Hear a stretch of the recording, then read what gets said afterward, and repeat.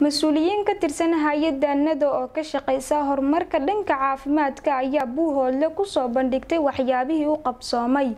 Sida warkan uu ku faahfaahinayo wariyahayaga cali dhagjar hay'adda noodo ayaa kulan ballaaran oo ku saabsan waxqabadkii hay'addu ka qabatay gobollada sool iyo cayn oo muddo ku dhow toban sana ahayd bay ka shaqeynaysay ama ka howlgalaysay ayaa lagu soo bandhigay magaalada buuhoodle kulankan waxaa ka soo qeyb galay oo lagu cosbay maamulka gobolka cayn kan degmada uurada haweenka bahda caafimaadka iyo mas'uuliyiinta iyo qeybaha kala duwan ee bulshada ku nool deegaanka buuhoodle ugu horeyn waxaa halkan ka hadlay maxamed xuseen aadan madaxa qeybta caafimaadka ee hay'adda noodo waxaan uu warbixin dheer ka bixiyey adeegyada caafimaad ee hay'adda u hayso bulshada gobollada sool iyo cayn.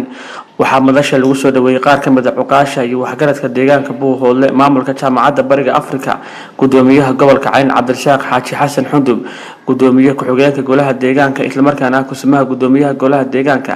Cabdikhadar diiriye gamaadid waxayna dhammaantood isku raaceen oo si weyn ugu mahad celiyeen waxqabadka hay'adda nooda ka hayso gobollada sool iyo cayn waxaa la aasaasay kowdii meey labada kun iyo sideedii.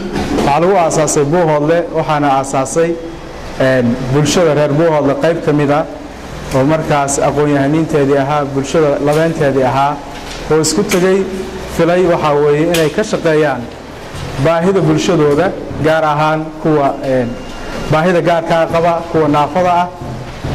Isbeddelna ku sameeyaan. Runtiina isbeddel weyn waa la sameeyey progress wuxuu ka soo shaqeeyey organisationkan mashaariic badan oo kala duwan oo ay ka mid yihiin ama quudinta aan shardiga lahayn waxa la yidhaahdo oo ah in dadka dhibaataysan oo i d b-yada ah qaxootiyaasha in la siiyo waxaa la yidhaahdo raashin ayadoo aan wax shardiga lagu xirayn ama aan ayagoo aan shaqayn la siinayo raashinkaas. Waxaa kaloo wadnay mashaariic ay ka mid yihiin nadaafadda iyo biyaha laba kun iyo siddeetan qoys oo u dhigma labaiyo toban kun iyo shan boqol bulsho ama qofood oo ku nool shangalle iyo deegaanada kale ee gobolka cayn waana waxaan siinay biyadhaan xilliga abaarto sidoo kale nadaafad agab nadaafadeed baan siinay kuna tababarnay labada kun iyo siddeetanka qoys. Sidoo kale xilligaas waxaa la sameeyey waxaa la yidhaahdo in dadka laga caawiyo sida ay u raadsan lahaayeen xal waaro oo loo helo biyaha. Waxaa ka mid a inay qotaan balliga oo hadda maasha allah progress badan laga sameeyey. Waxaa ka mid ahaa mashaariicda la qabtay ama hay'addu haddaba ka shaqayso caafimaadka iyo nafaqaynta oo ay ka mid tahay shan iyo toban xarumood oo caafimaad oo ku yaalla gobolka cayn.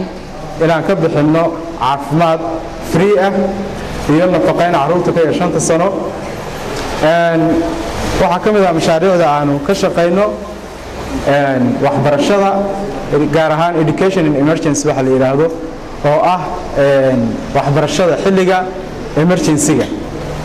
Aad baan waxaan u soo dhawaynaynaa mas'uuliyiinta ururka naado. Aad iyo aad baan u soo dhawaynaynaa waxaan kala soo dhawaynayaa cid allaale ciddii ka shaqaynaysa horumarka gobolka. Yaan soo dhawaynayaa waxaan arrintan uga faa'iidaysanayaa qof kasta waxaa loo baahan yahay inuu wax ka tago tacaba. Haddii aad geed beerto waxa weeyaan ajar kuu soconayaad ka tegaysaa. Haddaad maaragtay laan waddada ku soo baxda jarto ajar xasanaadaad ka helaysaa. Dowladda puntland hay'adaha aan la shaqayno hay'adda indho oo kale waxaa weeye waxaanu kala shaqaynaa hay'ad kastoo caafimaad ama nafaqa wadda gobolka ayaanu baarti